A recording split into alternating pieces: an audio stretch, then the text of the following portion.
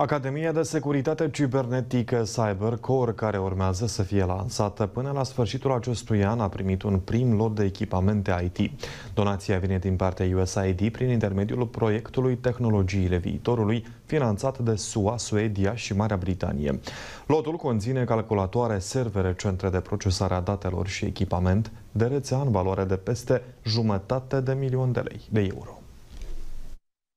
Partenerii de dezvoltare ne vin cu suport uh, extrem de util pentru dezvoltarea și funcționarea acestui institut în domeniul securității cibernetice. Vorbim despre echipamente specifice, inclusiv echipamente specifice pentru instruire, dar și pentru funcționarea însăși a centrului. Astăzi vorbim despre primul lot de donație din totalul donațiilor care vor avea loc de... Academia Cybercore va contribui la sporirea rezilienței Republicii Moldova în fața amenințărilor cibernetice. Potrivit unui raport, la nivel global ar fi nevoie de 3,4 milioane de experți în securitate cibernetică pentru a putea răspunde provocărilor. Este foarte important să ne echipăm cu cunoștințele și echipamentele necesare ca să ne protejăm uh, serviciile publice, să ne protejăm datele uh, private. La fel, este important să educăm cetățenii Republicii Moldova, uh, cei din domeniul uh, privat, dar și uh, angajații din sectorul public.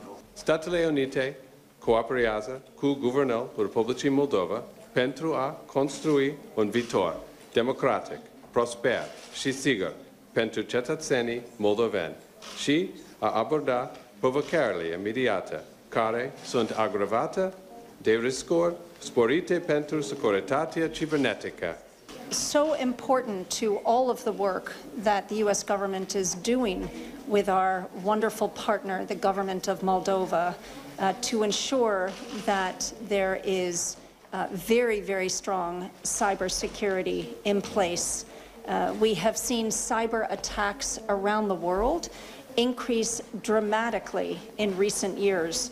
Valoarea totală a donației USAID se ridică la 600 de mii de dolari. Institutul CyberCore va fi lansat oficial până la finele anului 2024.